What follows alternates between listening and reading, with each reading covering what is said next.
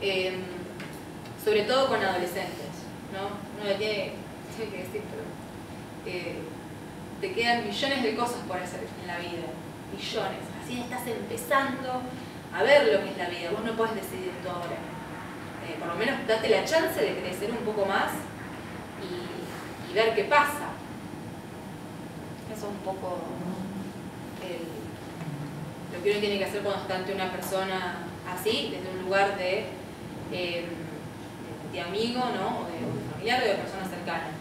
No varía demasiado lo que uno tiene que hacer como terapeuta, sí, estas cuestiones más específicas de las intervenciones, de la internación, de contacto con un psiquiatra, todo ese dispositivo tiene que ver más con lo terapéutico, pero los recursos que yo tendría que recurrir en una terapia son los mismos, vamos a decirles para ustedes.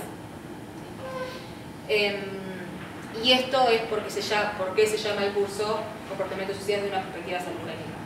Tenemos que potenciar lo bueno para que haga de pared, ¿sí? para que haga de paraguas ante eso malo y paralelamente vamos trabajando sobre lo malo. Pero bueno, como decía la compañera, si tenemos una familia altamente disfuncional, la familia no la podemos cambiar, pero podemos reforzar un montón de otras cosas que puedan hacer que ese chico pueda tolerar eso que está viviendo sin tener que eh, suicidarse. Preguntas, comentarios. Acá tienen mi email, ahí abajo, exa-galaxa.com.ar